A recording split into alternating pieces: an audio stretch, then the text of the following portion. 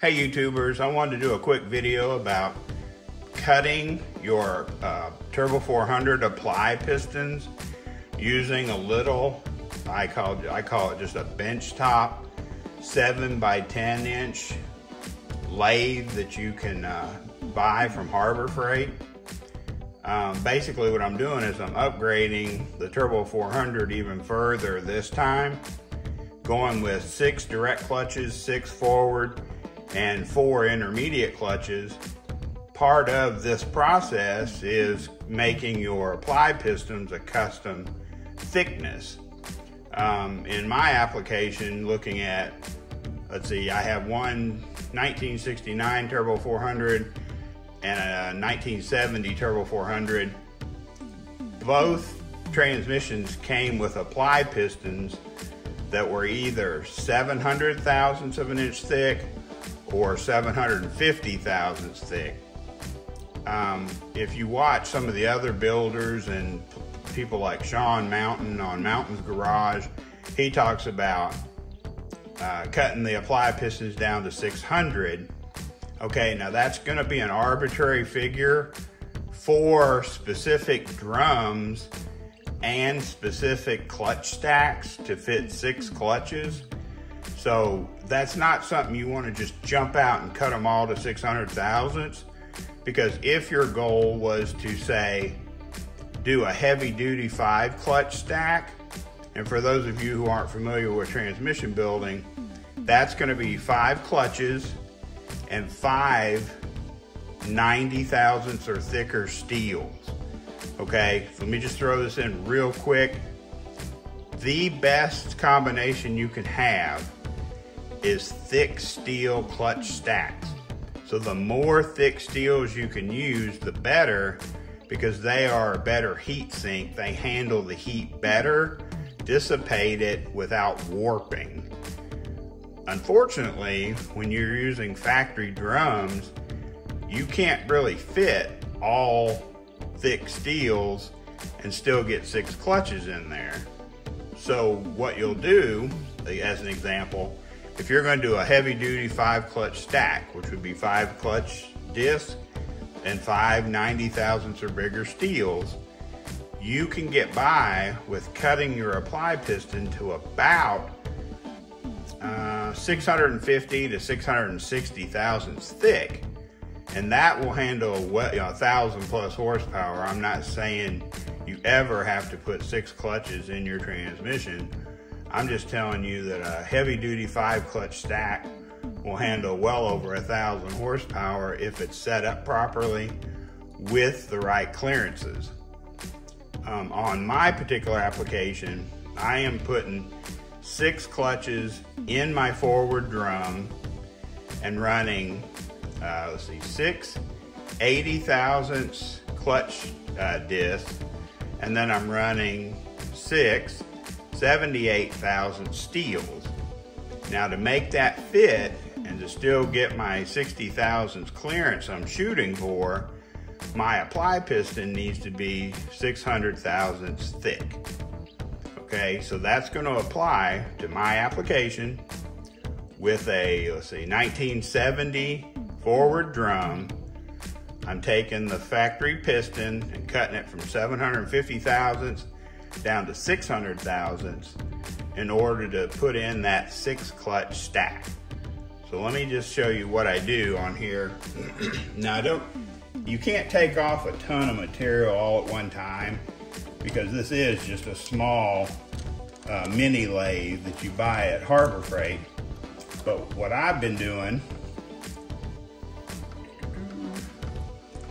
what, I do, I like to cut from the outside in you can actually go either direction and it's not gonna be a big deal. But what I do is I bring it up, hit it somewhere in that face, and I'll use the main crank. This is the main crank for forward and back. I'll just come up till the cutter touches the work or the piece, stop, then I will back it off. That's called a touch off. Touching off from the work surface now I'm gonna add this, this little crank over here on the end. this crank is what does your forward in one thousandths of an inch increments. So what I want to do is I want to take off 25 thousandths on this pass. So I will turn this to 25 thousandths of an inch. This is supposed to be a guy, a guard, but it gets in the way of the camera. So I'm just gonna pull that down. So I just wanna show you how this works. I don't wanna bore you with it, but what I'll have to do is take off 25 thousandths per pass until I get closer to the 600 thousandths thickness. Then I'll go to smaller passes and cut slower so I can dial it in. So the way this thing works, you got you got to power it up. Then you have to let the motor come on. And what I've found is you're better off not to turn this very fast. You do want to have the mini lathe in low range. And what I do, what I was doing, sounds crazy, but I turned it up until the motor, until everything sounds a little clattery. And then I back her down to about right there. It's a nice, even RPM. I do not know what RPM that is, but that's where I've been cutting at. And then I just slowly will take this handle and start cutting, guys.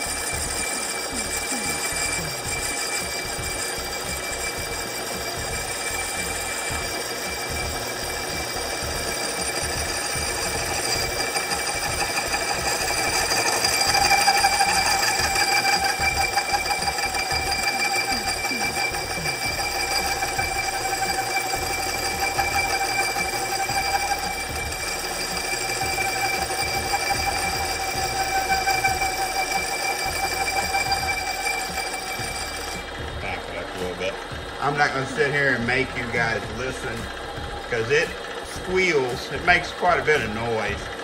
It has a loud pitch to it while it's cutting because it echoes through that aluminum. But that's what I'll do is I'll just start 25 thousandths at a time, knock off four or five passes. You know, of course, you can stop and measure it at any time on the lathe. Just remember, when you mount this. When you mount this on this head or this lathe, you have to get it flat as you can possibly get it so that this can be an accurate cut. And you will fight with it. I mean, you have to play with it and you have to slowly tighten your, your this is how you tighten and loosen the jaws, but you will have to hold it as flat and flush as you can and just barely snug it, pull your tool off, turn it on, check it, check it. And once you're comfortable with the straight, you know, the plumb, straightness, whatever, have it spinning true, then you just kind of gently snug it down. Don't go crazy, because if you turn this adjuster too tight, it'll spit this thing off. I mean, this lathe is small, and those little jaws barely kind of, you know, grab that inner diameter on the apply piston. So if you start getting crazy with it, it's gonna probably go crooked. But I just wanted you guys to see how I was cutting these apply pistons using this, you know, borrowed, relatively inexpensive Harbor Freight mini lathe, and it's working perfect. I mean, you know, you can only take off 25 thousandths at a time, but it does a good job. Everything's been accurate, and I just wanted to share that with you.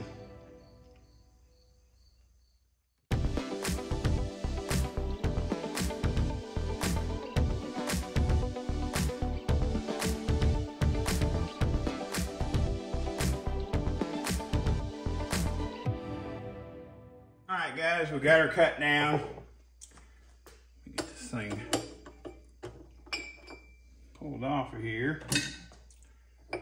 So basically I've cut this apply piston from 750 down to 598 thousandths. Okay, 598.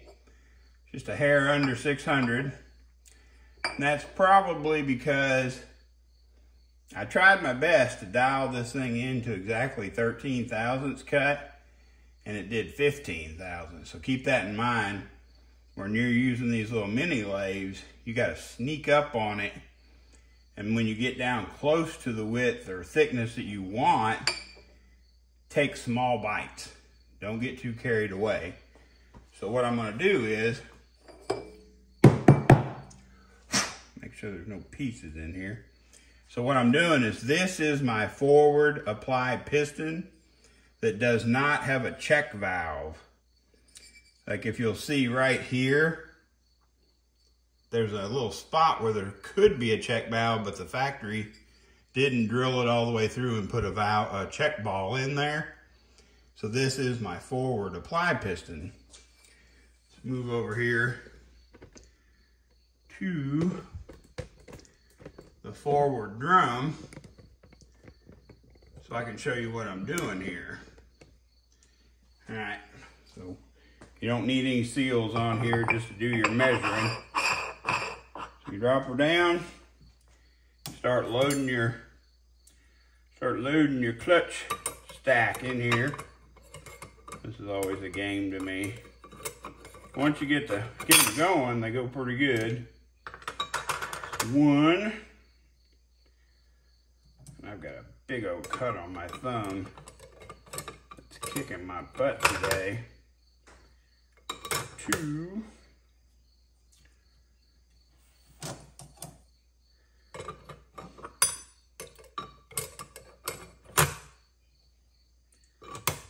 Three.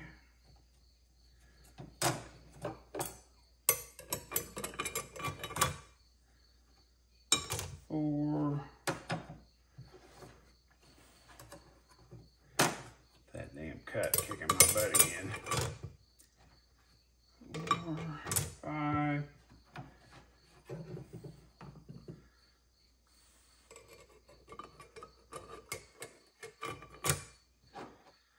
six clutches. And if any of you watched any of the videos, let me zoom in real quick because I think it'll help. Okay, guys, when you're setting up these clutch packs and you're trying to get some clearance, if you'll look right here, there's a step or a ledge.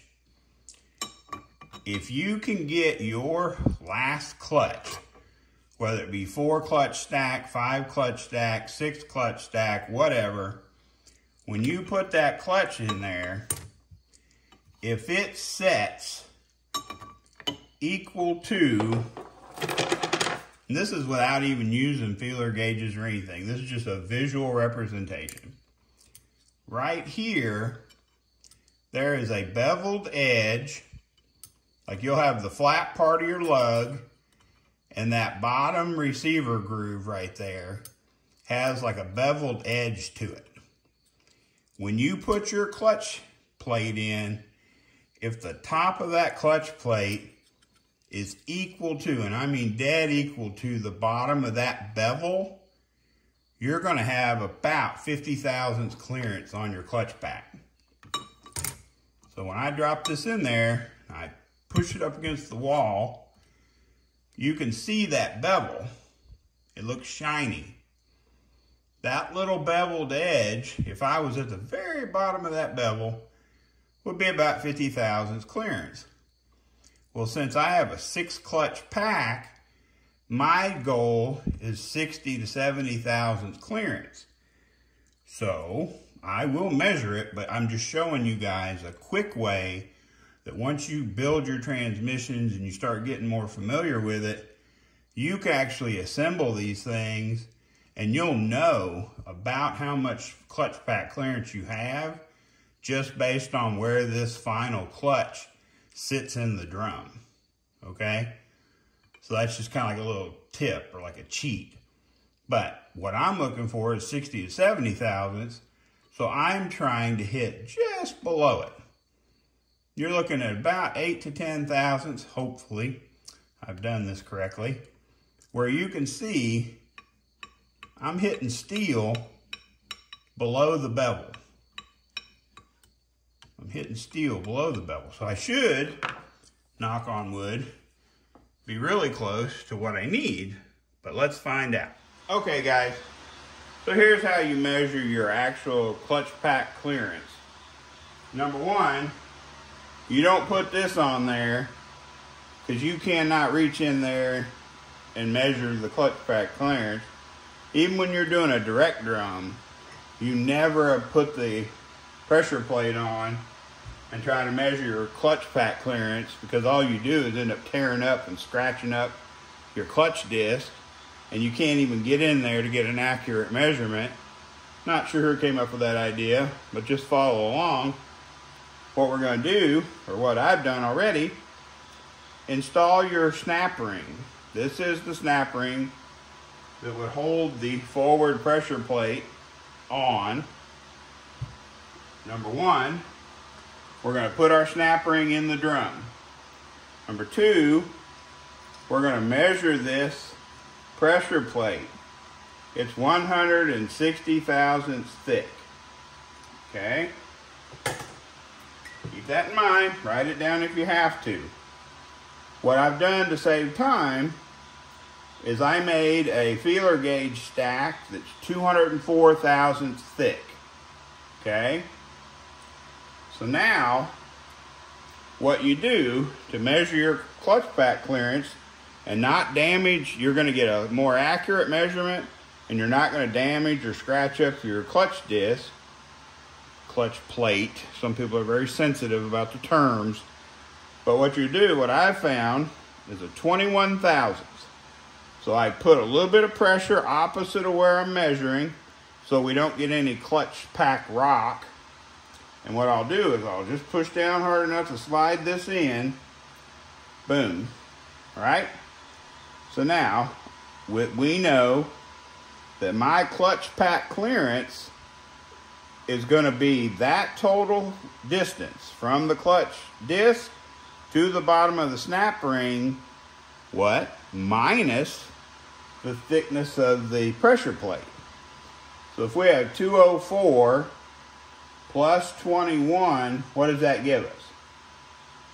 225 thousandths space, we'll call it, between the clutch disc, clutch plate, and the snap ring, 225 minus 160, voila, there's your clutch clearance.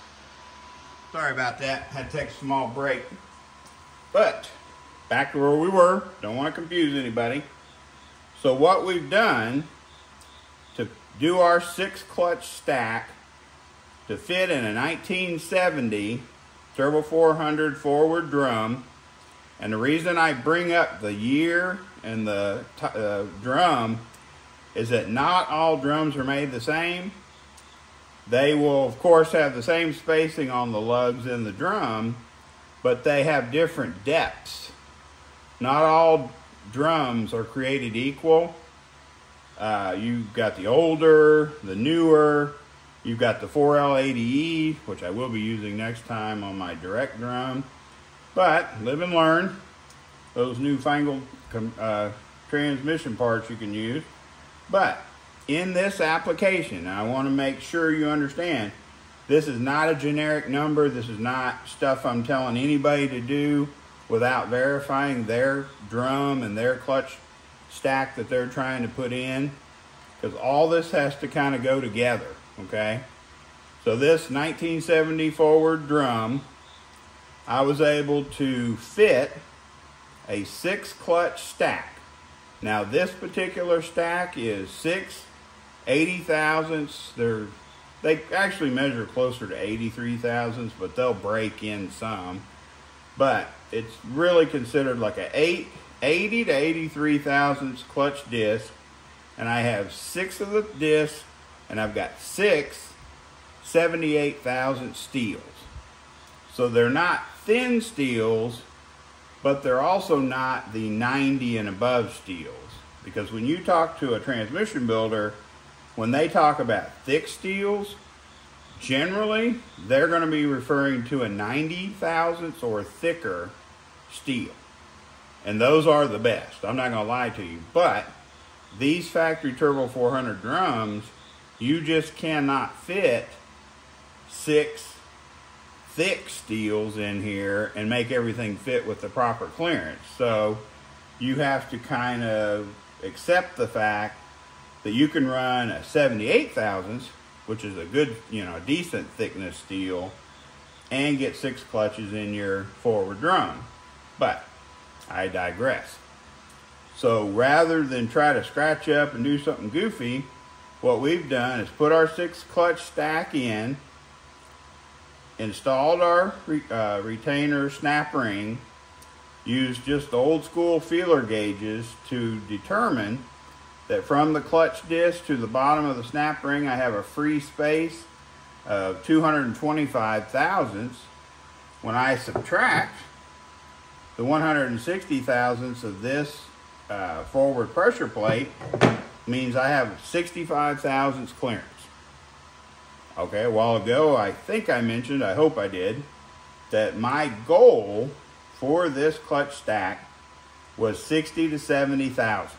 Okay, 65 thousandths came out perfect for me because I previously previously have measured this application and I knew I had to have a, a uh, this is this aluminum piece is called the apply piston I knew I had to have my apply piston at 600 thousandths or slightly below to be in the clearance range that I needed, okay? So I used a cheap, relatively cheap, I say that with an asterisk because it's not, you know, three or four hundred dollars is expensive to most people. But I used a mini lathe to uh, machine my own apply pistons, both for my forward and my direct. The direct will be a different video. This apply piston ended up 598 thousandths thick, six clutch stack with 65 thousandths clearance. So I just wanted to do a video on this tonight while I was working on the lathe, finalizing my, my clutch stack and clearances on this particular part of the rebuild. Um, hopefully this isn't boring for you and it'll kind of help you if you're going to be building transmissions or just jumping in and trying to upgrade the one you have. Uh, that's where I'm at. I'm going to make a more comprehensive video coming up that kind of explains the what I found after the teardown of my Turbo 400, uh, burning up the forward clutches, and you'll be surprised what the cause was and how rare a failure of that type could be. So thanks a lot, thanks a lot for watching.